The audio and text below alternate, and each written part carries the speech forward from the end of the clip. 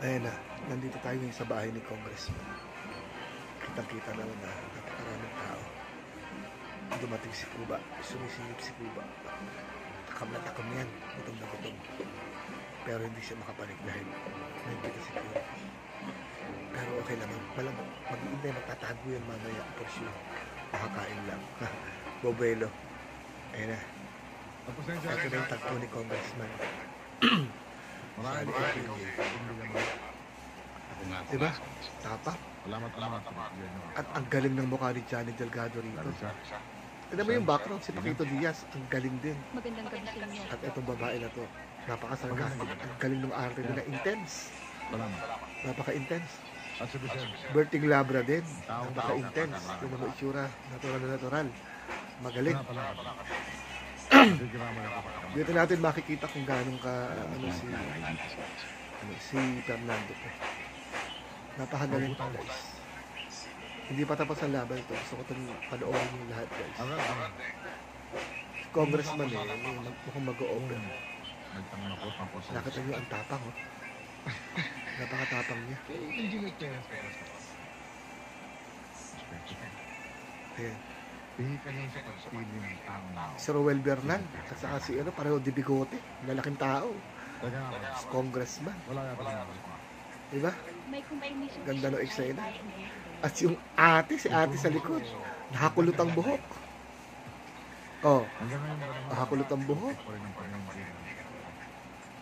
Kapag kakataon, dapat magtulong-tulong. Alam mo, yung mga dialogue dito, ibang klase. Matitibay yung mga dialogue dito, guys. Hindi mo kakayanin. Mahirap. bakit bakit. Ah, malalalim. Kasi gusto bilhin ni Congressman yung lupa at gusto magtrabaho ni Congressman sa FPG sa kanya.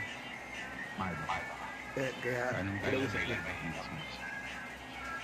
Diretso. Bago tayo ba? Magsalo sa mga. Eh, Dalawang bagay ang naalaksak. y- yan na yan. Aalo ko niya. Siguro naman alam mo alam. Interesado ako doon ang lupa. Yung lupa. Malawa. Tingnan mo yun. Dahil alam ko nag-iisa ka sa buwan. Mula naman sa akin. Kasi nagtanong-tanong daw siya sa Maynila eh. Gusto ko sana magtrabaho kasi. Magtrabaho daw. Hinihigitan ko kinapakita. Para matapos ang Gusto magkaroon ng ano, gumagamit. Gusto niya magkaroon ng kakampi. Didiretso na rin kita kita. Ayan, didiretso na siya. Hindi pinagbibili yung lupa ng bata. Alam na lang. At hindi ako magkapabaw sa Bakit naman? Nagtamid lang sa. Yun. Binalik niya. Nagtanong-tanong din daw siya. Galing mag-repat! Hindi Ang galing ng writer nito. Ibang klase guys. Sana Matalas ang bulan. okay sana. Ito ang masagasan ng panahon. Ayan. Masyado raw matalimas. Ang lalim, di ba? Kapag yung katotohanan ng umiral congressman, malali-lali ba ang italim? Ayan. Ang galing mag-rebat ng mga ano, mga dialogue nila nung araw. Hindi atake sa pusong pinatay na. Ang galing, ang galing. Hindi ba ito? Kita mo yung mata niya, seryoso. Di ba? Lahat ang galing, napaka-intense ng ano na to. Nalimutan mo. Nasa loob ka ng panahon. Para makakapagsalita ka sa kanila. O, sabay ganun. Siya nagsimula eh, no? Pero, asisi kay, kay ano, kay Pepeng. Baka gusto mo na nauna una. Yan. Yung ilang taon, baka gusto manaog ng bahay niya na una ang paa.